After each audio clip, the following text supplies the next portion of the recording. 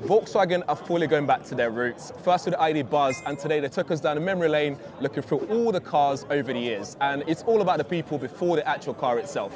Behind us is the new Volkswagen ID2 All, and it's all about being affordable and also looking good as well. So just because you're paying just around £23,000 doesn't mean it has to look horrible. Inside of the car, it has the space of a Golf, but when you look at it, it's got the compact look of the Polo. And it pays a lot of homage to some of the Volkswagen that we've seen over the years. Let's take a look at the design.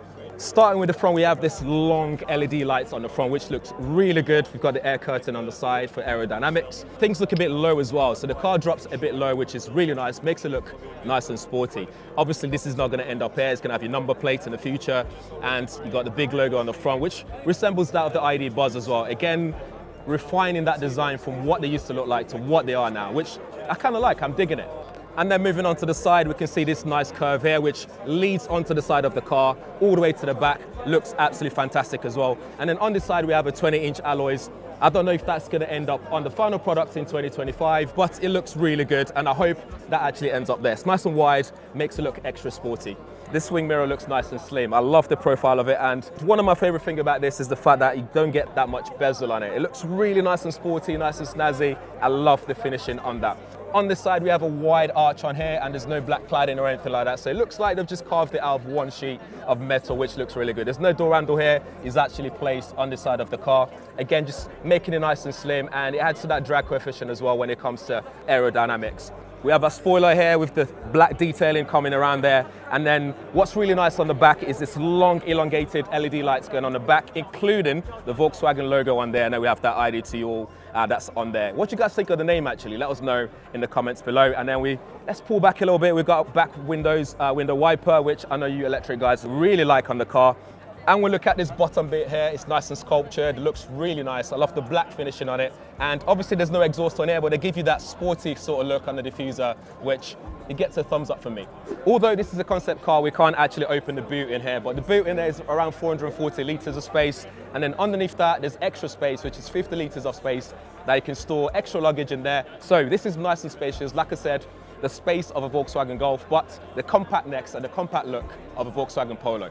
Let's take a look at the interior as well. It looks really nice in here and up to date. We have a new 12-inch display for the infotainment system and another 10-inch display for the instrument cluster. But what's really cool about here is it can actually customize it to take advantage of the old school, the old heritage of what Volkswagen is all about. So you can change the instrument cluster design, you can modify it to suit your need.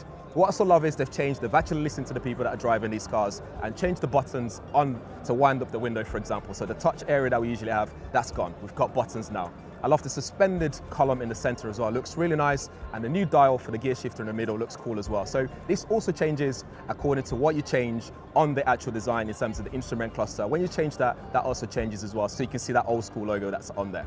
In terms of things like Android Auto, Apple CarPlay and all that stuff, we don't actually know yet, but I would assume based on previous cars, we're going to be seeing that in here as well.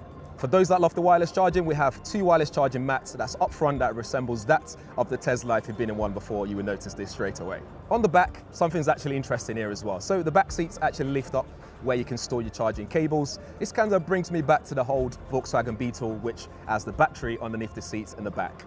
But as far as the interior goes, I kind of like what they've done here. I love the flat bottom steering, which also has those new scroll wheels on there as well. So less touch areas, less capacitive touching, which is really cool. The design on the inside just looks nice and modern, still classic, nice and minimalist, which I really love. The seats looks very comfortable as well. The headrest has something that looks like a speaker grill. I'm not sure what that's going to be in the final version in 2025, but I hope that's actually a speaker grill as well for that immersive experience inside the car. I love the finishing, the material, the stitching, it just looks fantastic. In terms of the battery size, Volkswagen didn't actually say much about the battery size, but what we do know is they claim it will do 450 kilometers on the WLTP, which is around 281 miles, and we're looking at 10 to 80% charge in just 20 minutes, so fast charge is going to be there as well. For speed, you're looking at 226 horsepower and we do 0 to 62 in under 7 seconds or around 7 seconds roundabouts. But again, when we do take this on the road in 2025, sounds like a long time away, we can actually put that to the test.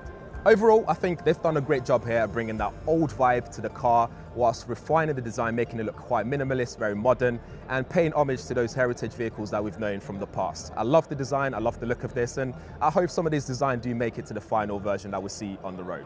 So that's it for the new Volkswagen ID2 All Concepts. Let me know what you think in the comments below. Would you part way with £23,000 for this? Let me know in the comments below. Thanks for watching. We'll see you in the next one.